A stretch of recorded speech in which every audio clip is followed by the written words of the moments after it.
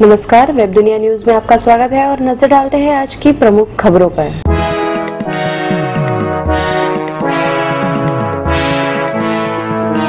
मुस्लिम law board meeting से मोदी समर्थक सरेशवाला को भेजा बाहर।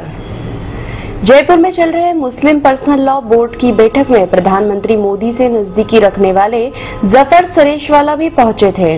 सरेशवाला के बारे में कहा जाता है कि वे बोर्ड तथा प्रधानमंत्री मोदी के बीच मुलाकात की कोशिश में लगे हैं। लेकिन बोर्ड की बैठक से उन्हें बाहर निकाल दिया गया।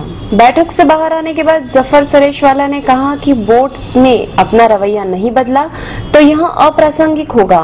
उन्होंने यह भी कहा कि मैं बैठक में शामिल होने नहीं गया था। मुझे बोर्ड के एक सदस्य ने बुलाया था, जिनके बुलावे पर एक निजी मुलाकात करने के लिए मैं वहाँ पहुँचा था।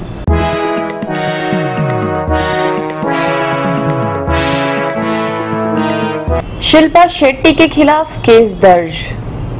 बॉलीवुड अभिनेत्री शिल्पा शेट्टी की कंपनी के खिलाफ कोलकाता की एक कंपनी ने शिकायत दर्ज की है। उन पर 9 करोड़ रुपए का निवेश करने के लिए कथित तौर पर फुसलाने को लेकर मिली शिकायत के आधार पर केस दर्ज कर जाँच शुरू की गई। कोलकाता पुलिस ने बताया कि यहाँ शेक्सपियर सरणी थाने में एम के मीडिया प्राइवेट लिमिटेड के प्रतिनिधि देवाशीष गुहा की शिकायत के आधार पर मुंबई में बांद्रा के एसेंशियल स्पोर्ट्स प्राइवेट लिमिटेड की शिल्पा शेट्टी व रिपु सदन कुंद्रा के खिलाफ मामला शुरू किया है। भारतीय दंड संहिता की विभिन्न धाराओं के तहत मामला दर्ज करने के बाद जाँच की जा रही है। एम के मीडिया प्राइवेट लिमिटेड ने इस संबंध में कलकत्ता उच्च न्यायालय में दीवानी मुकदमा दायर कर रखा था।